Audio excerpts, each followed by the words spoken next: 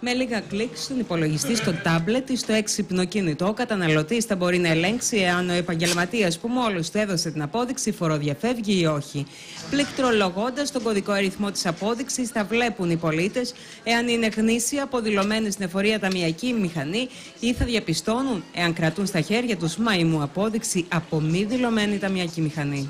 Πιστεύω ότι είναι καιρός στο κράτος να αξιοποιήσει τα τεχνολογικά μέσα που διαθέτει, έτσι ώστε να εξαλειφθούν τα φαινόμενα φοροδιαφυγής. Θα το έκανα, θα την κατέβαζα την εφαρμογή, έτσι ώστε να είμαι ευχαριστημένος και εγώ σαν πελάτης και ο καταστηματάρχης και το κράτος. Να υπάρχει μια καλύτερη σχέση τέλος πάντων μεταξύ μας.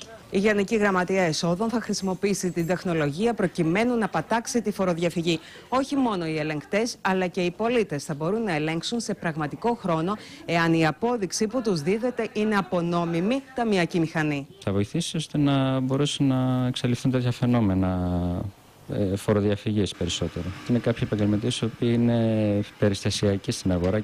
Η φόρμα ελέγχου της νομιμότητας ταμιακών μηχανών μέσω του διαδικτύου τέθηκε ήδη σε εφαρμογή και έτσι έγινε το πρώτο βήμα για την διασύνδεση των ταμιακών μηχανών με το Υπουργείο Οικονομικών.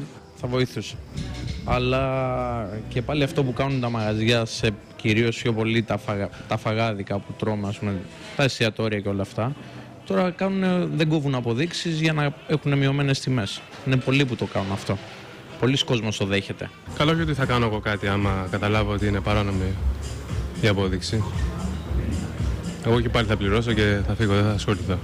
Οι πολίτες μπορούν να γίνουν ελεγκτές των επαγγελματιών που φοροδιαφεύγουν χωρίς να χρειαστεί να καλωδιωθούν, όπως όριζε το σχέδιο Βαρουφάκη, και να παγιδεύουν για λογαριασμό της εφορίας εμπόρου και ελεύθερους επαγγελματίες.